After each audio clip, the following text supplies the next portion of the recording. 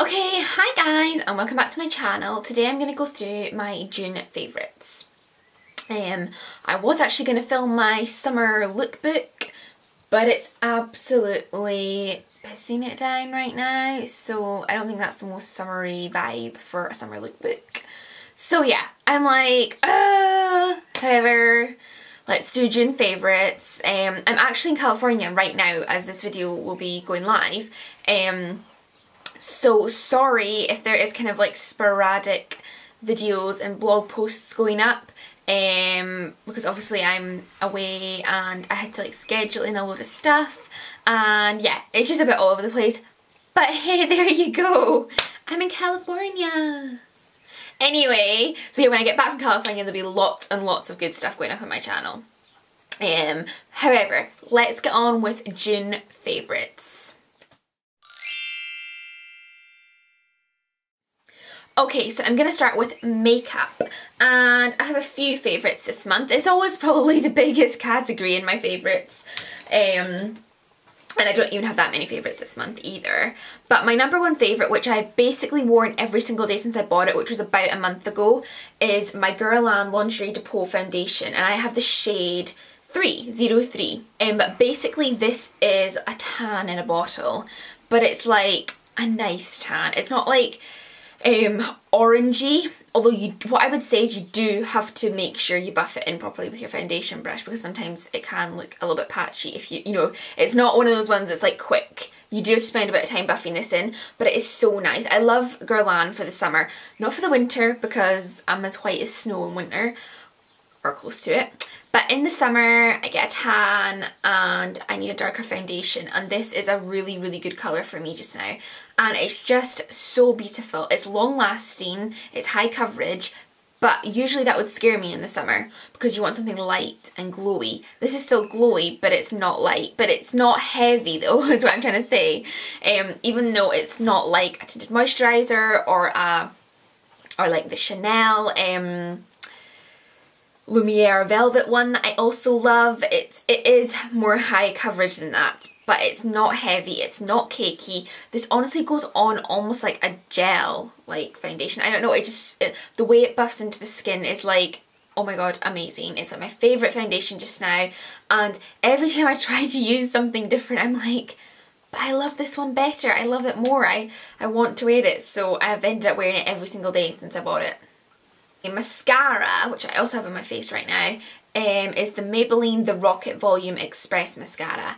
Um, and I don't know if this is waterproof or not. Um, but yeah, I really like it. I usually though have two coats of this and it is a mascara that you can build up and it doesn't get clumpy. Um, I have always wanted to try the False Lash Effect mascara from Maybelline but um, when I went in store, I don't know, this one just jumped out at me. I just, I don't know, like I think I'd heard like quite good things about it. Tanya Burr uses this one, I think. And yeah, I just wanted to give it a go. Um, I'm always really impressed with high street um, mascaras. Um, a lot of the time more so than expensive mascaras. So yeah, I love, always love buying myself a new mascara because um, I there's something I get bored of quite a lot. Like I'll have a mascara for like a couple weeks and I'll be like, Ugh, I want to use something different. But I really, really like this so far. I've not got bored of it. Um, and it just really, really lengthens the lashes. Um, that would be the main thing is what I would say. It really, really lengthens the lashes. I do need to curl my eyelashes though. I need to start doing that because mascaras for me don't really hold a curl. So I do need to start um, actually curling my lashes before I put mascara on. But it really lengthens them and really separates them. And as I say, I put two coats on. Okay, so I've got a couple of lip products, um, and the first one is a nude one. So I've got a nude and a bright, but I'll start with a nude. And this is actually the lip gloss that, um, looks like a lipstick gloss that Kim Kardashian wore on her wedding day. And it is, it's got such a long name, I actually wrote it down. Okay, so it is the L'Oreal Extraordinaire Color Riche Lipstick in Nude Ballet. So the shade is Nude Ballet. Um, and yeah, this was the actual lip product that she wore on her wedding day. Um, I've got a blog post all about this and loads of pictures of me wearing it, so I will link that below if you want to check that out. But basically, it's just a really nice, you can't really see that, it's just a really nice nude. It's kind of like a brownie nude, Um, but on the lip it just gives this gorgeous glossy effect and it just covers any imperfections on your lips. Yeah, so if it's good enough for Kim Kardashian, it's good enough for me. Okay, so the next um, kind of lip product favourite that I've been loving is the Bourjois Rouge Edition Velvet in Ole Flamingo. I love the name. The, these pro these lipsticks I've heard so much about. They, they're like huge raves. So when I went into Boots, I was like, I've got to try this. And believe me, they are even better than the reviews. Like literally, this is like one of the best lip formulas I have tried in a long while. Um, they go on matte. Well, they go on like wet, like a like a lip like a like a lip lacquer, um, but they dry matte and they like sink into the lip, but not like showing the cracks or anything, but like so that you can't feel like there's anything on your lips. Like every time I wear it, I'm always like, you know, just like tapping my lips or whatever, and then I'm remembering, oh my god, I've got lipstick on. They're, it's like so strange, like you just literally feel like nothing is on your lips. Yeah, they're really opaque, really good um, colour, um, really bright I love the Ole Flamingo colour. I want to get the, there's like another, I can't remember what it's called now, but it's a really bright pink, a bit like what I've got on today. Um, so I want to get another one of those. Um, but the formula, I'm just blown away with the formula. It's so, so, so good. So long lasting, so not drying, and yeah, just amazing. I absolutely love these. So yeah, I really recommend getting them. Okay, so moving on to skincare. And I'm to start with um, Inhibitif. I don't know if you guys have heard of this brand, but basically it is like a, um, a hair minimizer. Like it reduces the growth of your hair. It doesn't remove your hair, it just reduces the growth but it's like a long-term thing so it's not instant you use this for um six to eight weeks I've been using it for maybe three weeks um so when I've done the full kind of go of it all. Um, I will put a blog post on my blog reviewing it and see if it does actually work. Um, but what I will say is I bought the, the mist first of all in the can and oh my god it was done within the week. I think I'd only used it for one week and the whole thing was gone and it is expensive. The can was like 23 pounds so like I was like hmm, no way. I was so disappointed but I'd heard so much about serum that I went back and got it and this was £30 um, but as I said I've been using it for three weeks and I've used not not half, nearly half I'd say, but not quite half. Um, so it might do me to the eight weeks. Um, but I do spray quite a lot on my legs. Um, and yeah, I've been really enjoying using it. It's You just use it morning and night, but sometimes I don't always manage that. But I just, when I get out of the shower, um, I've dried myself. I then spray my body with this. Then I leave a little bit like just drying time and um, then I put my moisturiser on. So yeah, it's a little bit of a faff, a little bit of an extra step, but you know, if it reduces your hair and totally minimize, like, because honestly, hair is like the worst thing, especially in summer. Um, it's just such a pain, like shaving, waxing, uh, uh, just so annoying. So if there's a product that will minimize your hair growth it will just make life so much easier for you. So I'm definitely prepared to give this a go. And so far, um, I haven't noticed a huge difference. I will say that. I've not noticed a huge difference. I maybe noticed a little bit of a difference with my hair growth. But as I say, I'm only two, three weeks in, so um, I will be giving it its full course.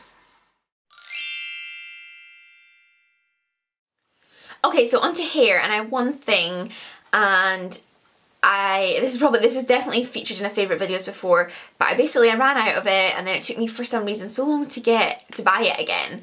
Um, I don't know, because it's, it's not, it's not pricey because it's just L'Oreal, but it is £10, so I don't know if that just like put me off buying it again, but um, yeah, I just finally got it and I'm so glad I did because I just absolutely love it, even more than the first time I bought it. I use this especially when I curl my hair. So basically what it is, I'm not told you what it is, but it's L'Oreal's Extraordinary Oil.